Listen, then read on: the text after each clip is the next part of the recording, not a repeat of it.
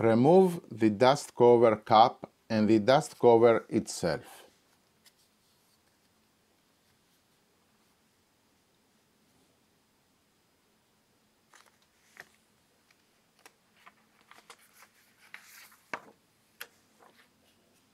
Fit the rod extensions.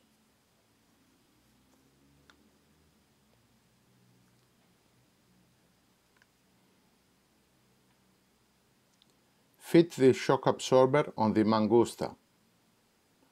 Adjust the extension system in order to press the guide 2 mm before reaching the end of the compression stroke.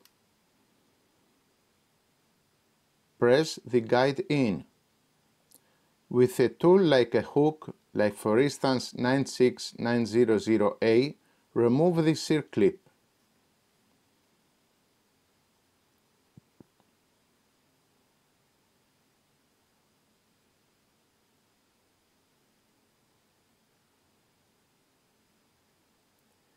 Leave the rod to come up.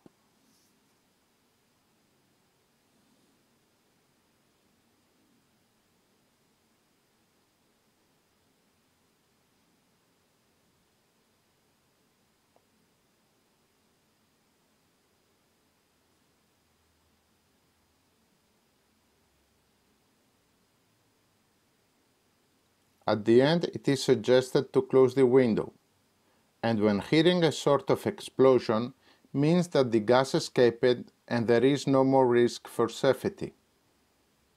At this point, remove all the components and clean them carefully.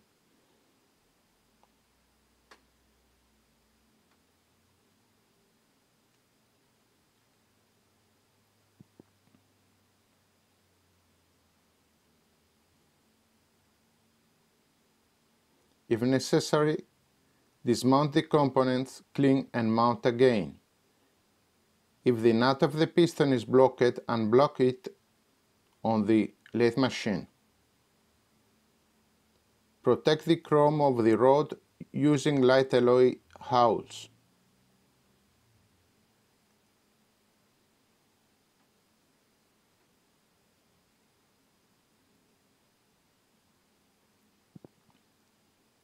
Set the components respecting their original position and verse.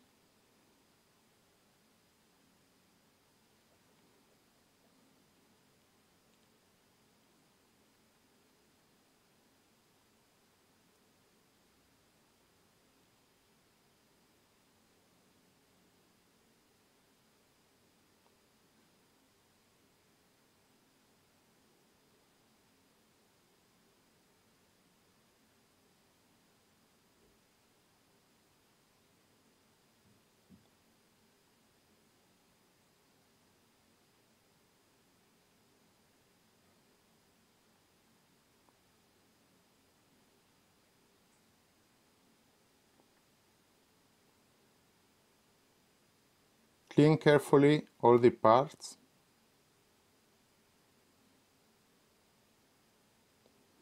If a new calibration is required, replace the calibrator and the shims.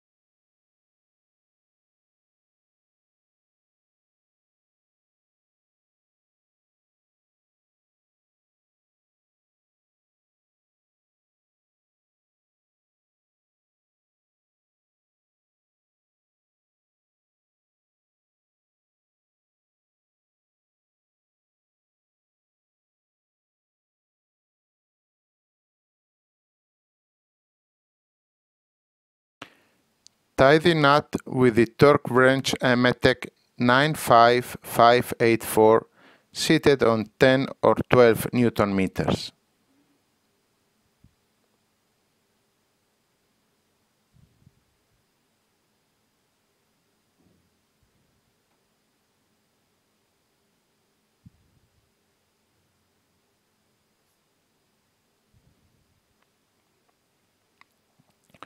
Replace always the o-ring of the separator, because with the oil seal it is the most delicate component of a monotube shock absorber and can compromise its functioning.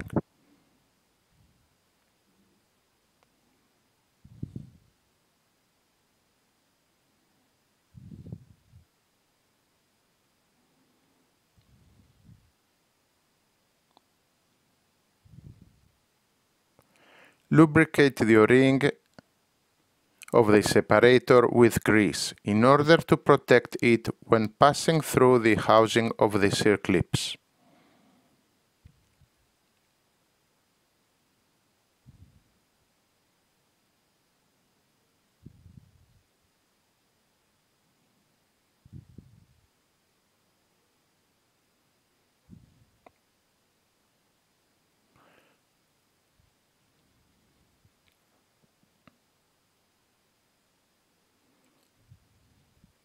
Replace always the Teflon band around the piston and leave it pre-installed.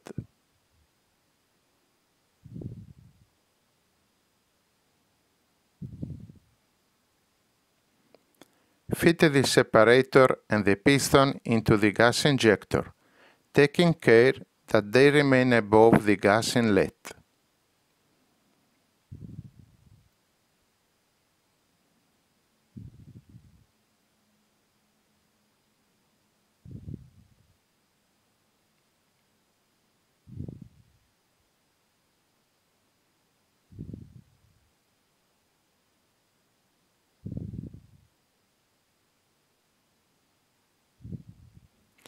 Set the shock absorber on the Mangusta. Set the ring glass around the shock absorber and set the injector on the shock absorber too. Set the extension on the rod. Lift down the piston of the Mangusta.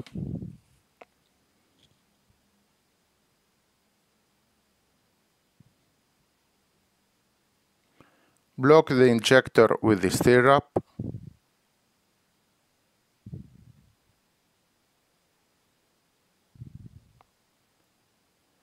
Connect the adjustable manometer 99119 between the injector and the nitrogen hose. Adjust the pressure of the nitrogen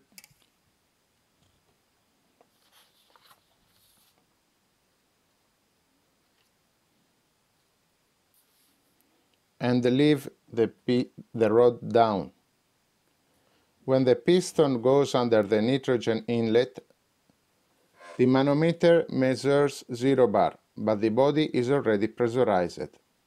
Re remove the manometer, remove the stirrup, remove the injector,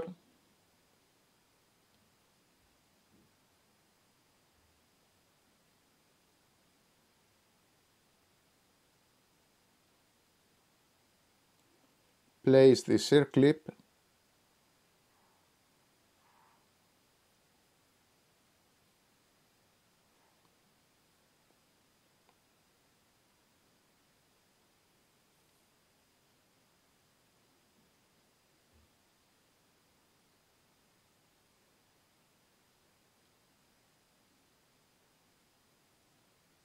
set the extension on the rod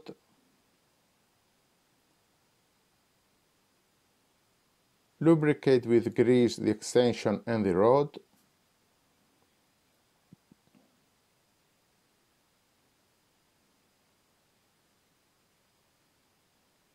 set the guide. Remove the previous extension and place a new one if required Add also the spacer.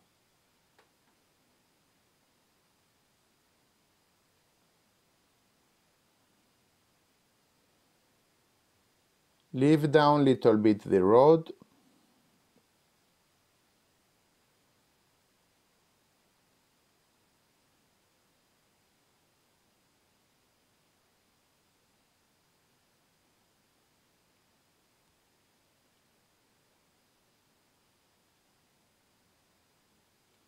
remove the circlip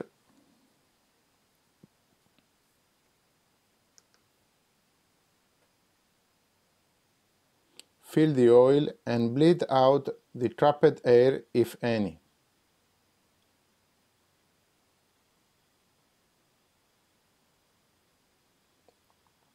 Fill more oil within the border of the shock absorber and double check that any bubble of air remains between the guide and the oil. Push the guide in and mount the circlip again.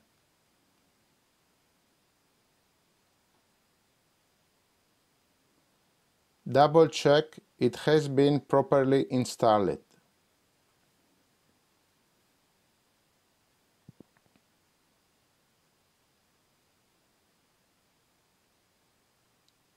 Remove the exceeding oil.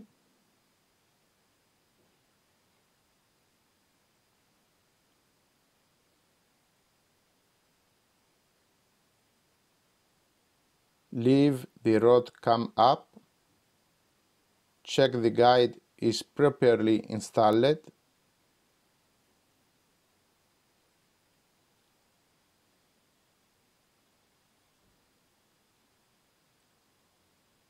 remove the ring glass.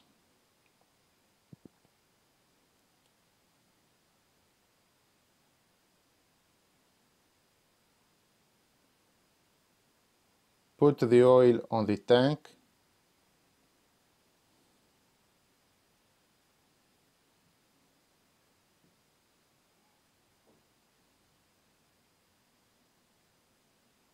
Remove the shock absorber from the Mangusta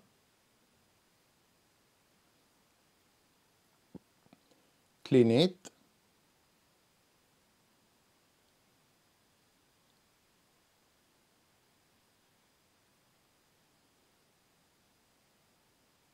fit again the dust sail and its cover.